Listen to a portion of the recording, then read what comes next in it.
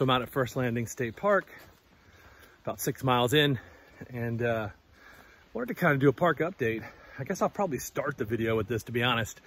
But uh, First Landing's in Virginia Beach is in the northeast section.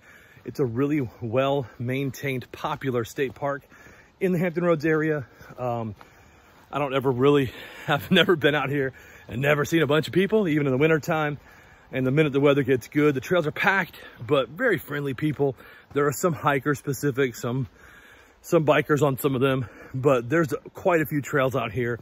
I haven't counted, but I would say a good eight or nine. Um, all levels of difficulty from an easy one and a half if you have kids, young kids, uh, to the Cape Henry Trail, which is a 12 miler. Um, so if you're a long day hiker, you can still get a little bit of challenge. Uh, there's zero elevation. I think I hiked six miles and went 160 feet. So if you're looking for a challenge, um, Cape Henry or First Landing is not going to be it. Plenty of parking places, bathrooms on site. Um, you will have to pay to get in unless you're an REI member, in which case you can use your bottom of your receipt and get in for free.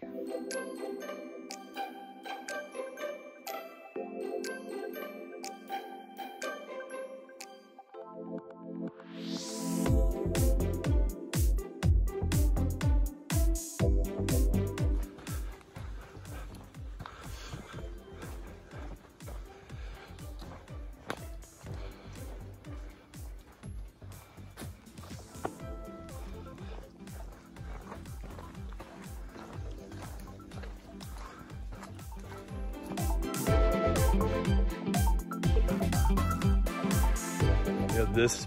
You can come up here, you're gonna be able to take a right or a left. Yeah. A right takes us back to the creek Yep. and a left takes us on a long loop. Yep.